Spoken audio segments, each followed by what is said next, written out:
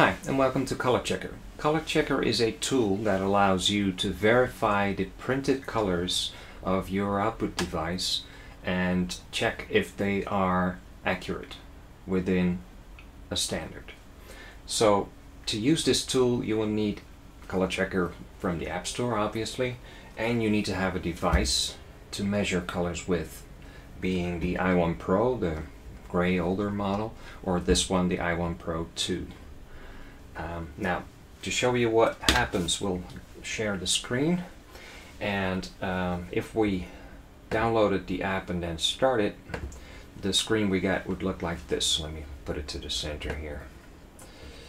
So it starts off seeing, uh, saying not calibrated.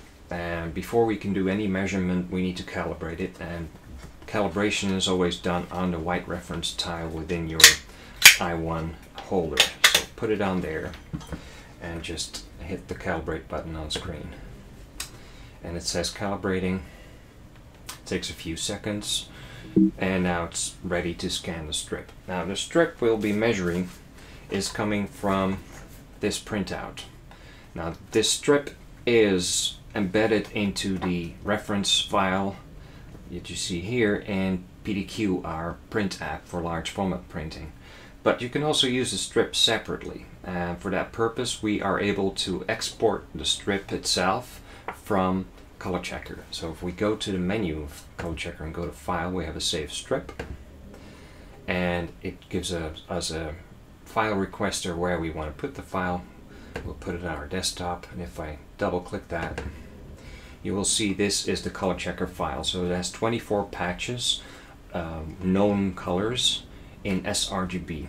So you can use it in any color space you want, as long as you do the conversion correctly.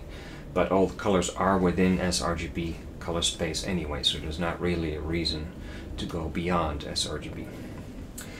Okay, um, that's the strip. We've printed it, in this case on this paper.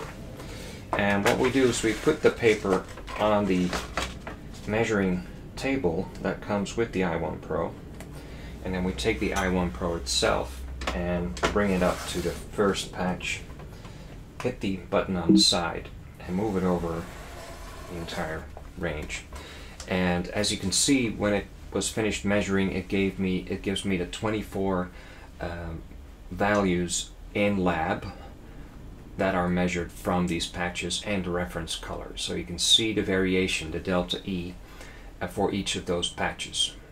And because the average is 2.96 and the maximum deviation is 6, it gives me a pass. So this printout is within standards. It would be good enough to be a proof. Not actually a proof, because proofing is something that's usually done um, in CMYK and Pantone colors for printing purposes. But if you have a workflow that's photography and you have a printer, which is more likely if you are a photographer to have an RGB workflow, then it would, would make sense to have something to check the uh, accuracy of your color printout. Now, obviously, you can debate about your color printout until you're blue in the face, but it doesn't mean it's it's accurate.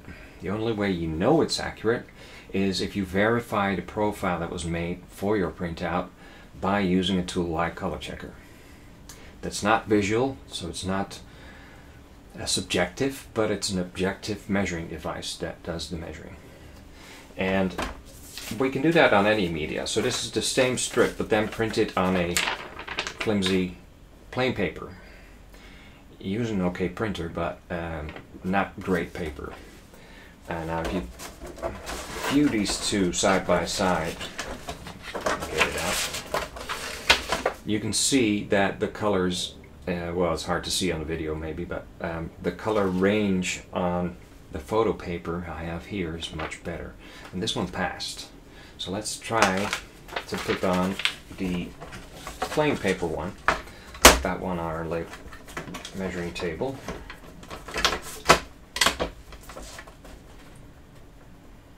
Like that. And we will simply do the measurement again. So we start here move it over And this gives me a delta E average of 7.45 and a maximum of 13 and therefore a fail. Because the limits we set internally are 5 for delta E. Um, that's for one particular color on average uh, and a maximum deviation of 13. So if anything goes over that and here values go over um, 7.45 and 13.08 it gives me a fail.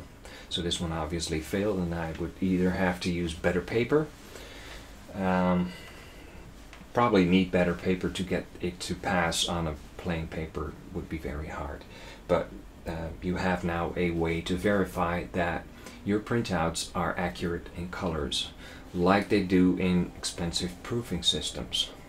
Now all proofing systems that I know that have this capability of measuring a control strip um, usually cost hmm, somewhere between uh, 1500 and 3000 uh, dollars or euros. Um, so this is a very affordable way to know that your colors are accurate. It doesn't mean they're perfect. You could still be off because only with an average delta E of less than 1 and a maximum delta E of less than 3, your print is pretty much perfect. Mm, and that's very hard to obtain.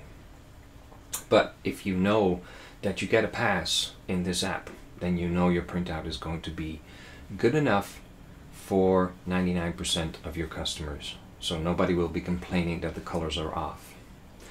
And to use the color checker um, colors like you have on the color checker passport or uh, proofing uh, samples that you can buy from Xrite, it makes sense because then you have something throughout your workflow that's consistent from your photo, from your calibration um, of your camera um, up to your print. And if you use the same reference file for that, you know that the file you, you the colors you photographed and printed are identical, and that's what you want. So that's the um, tool we have available on the App Store as of today. It's called Color Checker, and it of course works in combination with PDQ to drive any of your large format printer.